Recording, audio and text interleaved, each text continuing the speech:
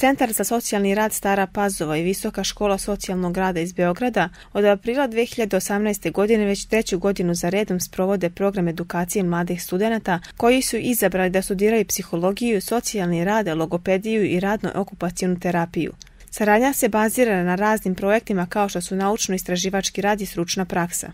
Visoka škola socijalnog rada u Beogradu formirana je pre nekoliko godina. To je privatna škola, njen osnivač je profesor dr. Vladimir Ilić, e, sa kojim sam jednom prilikom bila u kontaktu i obzirom da zna da radim u Staropazovačkom centru, napravili smo jedan dogovor o potpisivanju sporazuma vezano za praktičnu nastavu studenta koji studiraju na toj školi dece sa naše teritorije, odnosno mladih sa naše teritorije koji mogu u okviru školovanja da obave stručnu praksu u Centru za socijalni rad u Staroj Pazovi. Centar za socijalni rad je ustanova sa kojom visoka škola ima početni oblik saradnje među mnogim socijalnim ustanovama na teritoriji Republike Srbije. Centar je prepoznao poslove i značaj kadrova koje ova visoka škola nudi, jer ovoj ustanovi nedostaju radnici, zbog toga su edukovali mlade srednjoškolce da se u što većem broju opredele za profesije i spomenutih oblasti oblasti. Centar za socijalni rad ovde u Staroj Pazovi e,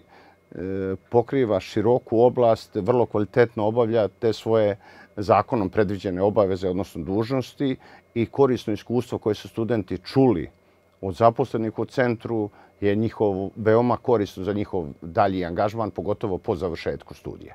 U toku dva semestra, odnosno u toku dve godine, tih dva put po 15 dana je predviđeno obavljanje prakse u Centru socijalne radi i u drugim ustanovama socijalne zaštite.